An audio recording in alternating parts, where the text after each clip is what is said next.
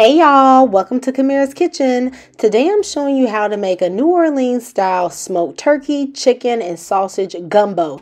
Guaranteed clean bowls. You're to be licking your lips after trying this recipe. Now let's go ahead and get started by putting one pound of smoked turkey wings in a pressure cooker. I'm going to cook this for an hour and 10 minutes until it is falling off the bone. This is going to give us a nice broth. Now, while this is pressure cooking, we are going to get started making a dry roux. I prefer to do a baked roux just because it's easier and I don't have to keep stirring it for like 45 minutes straight. So into my cast iron skillet, I'm going to be adding three cups of all-purpose flour. Now this is way more flour than you need for this recipe, but if you are going to be going ahead and baking a roux, you may as well have extra, okay? If you're going to put it the work, you may as well have some left.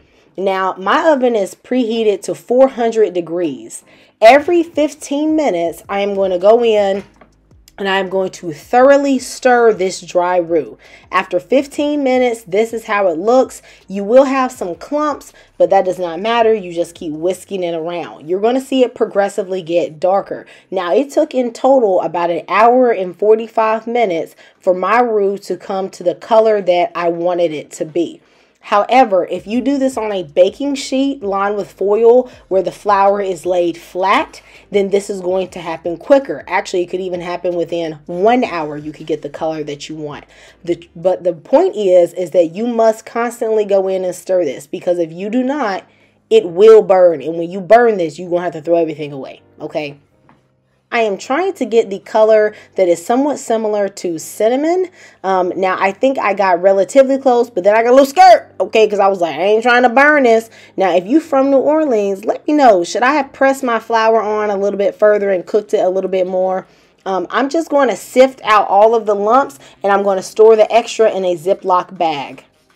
Now you can also use this dry mix to make etouffee and other dishes where you want a roux. So it's going to come quite in handy. Now, of course, at this point, my smoked turkey is done. It's falling off the bone. And I'm going to start prepping my vegetables on this beautiful cut cutting board that was sent to me by DB Made It from Instagram. Guys, this is one of the best cutting boards I have ever used. It's like an inch and a half thick. It's made with these beautiful woods. He makes them himself. So I want you guys to check check out DB Made It on Instagram. You can find his link in the description box. He also sent me a stand in order to put up the cutting board as well as some coasters and even a board butter to keep the board conditioned. This is top quality custom cutting board for, you know, a wedding or a friend, a housewarming gift. Y'all better check the brother out. And when you do, tell him that Camirra's Kitchen sent you over there, okay?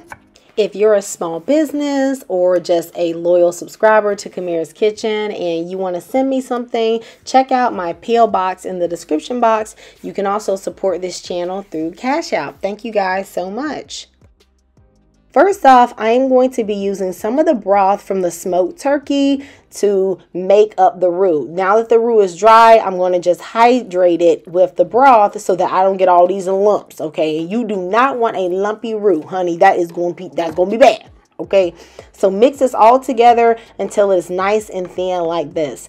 Then I have already cut up about a pound and a half of chicken thighs into bite-sized pieces and I'm going to season them with three-fourths of a ta- of teaspoon okay of this Creole seasoning as well as one tablespoon of salt-free Cajun seasoning, okay? And then you're going to mix this up well and you're going to place this to the side. Now, typically a gumbo would have a lot of oil in it because you have to cook the roux in that oil, but instead I'm just going to be adding two tablespoons. I'm adding one tablespoon of grass-fed butter and one tablespoon of a organic lard. And that organic lard and butter really do add a different taste. I'm going to cook this sausage until it's nice and brown. And baby, this not burnt, this flavor, okay? The real cooks know, okay, when it's too far. Trust me, this ain't too far, okay? I cook this for about four minutes and I let it get a good color. And this added a ton of flavor to this gumbo. Next goes in all the chicken. I am going to pre-toast the chicken. It doesn't have to be cooked all the way, but you definitely want a color on takes about four minutes because you want those spices to get toasted. Then I'm going to take that out, removing, leaving the oil. And then I am going to put in all of my vegetables, okay? Y'all know that holy trinity. Amen, okay? The onion, the celery, the peppers, all of that. I'm going to add a little bit of Tony's just so it will help sweat the vegetables, okay? And then I'm going to cook this for about three minutes, just letting all that flavor come together and letting it toast in that oil. You also want to scrape the pan because you want to get that fond off the bottom. Then I'm going in with four cloves of minced garlic, two bay leaves, one more tablespoon of salt-free Cajun seasoning, and I'm going to mix this up and let this toast real well. Now, I know some of y'all don't be playing with the okra, but okra is very good for you and I think it tastes great. Okay, so I'm putting in two cups of okra.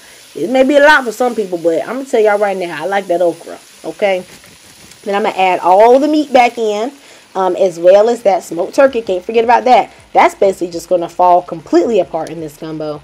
And then I am going to use the broth that I cooked the smoked turkey in as the broth for this recipe. You just kind of gauge how brothy you want your gumbo to be. Okay, I didn't measure this. I just poured it in so it felt right. And then I'm going to put in the roux that I have mixed up. Now, I have only used half of a cup of this baked roux. However, you could really add a full cup, even a cup and a half. I just used a half of a cup because I wanted to watch my flour intake, which is why you won't see my gumbo quite as thick as some other people's. But that is okay for me. If you want yours thicker, use a full cup to a cup and a half of the roux. I'm going to put in one tablespoon of better than bouillon. That is low sodium because you don't want too much salt in this. And I am going to let this come up to a boil. I will then scrape off whatever, whatever that white stuff is. Okay, that got to go.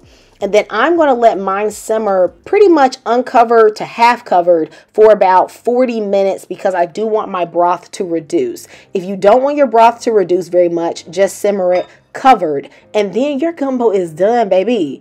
But to top it off, I'm going to add a little bit of gumbo filet.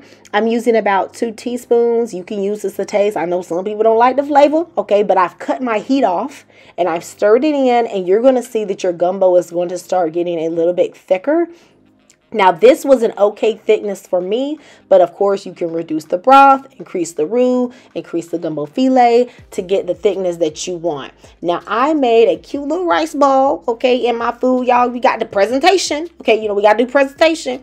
And then I'm going to go in and just do, you know, just a generous amount of this gumbo. Baby, me and my family told this up.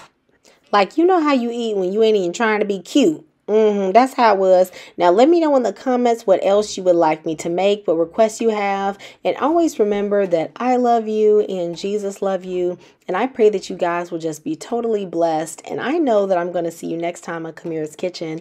Goodbye. God bless.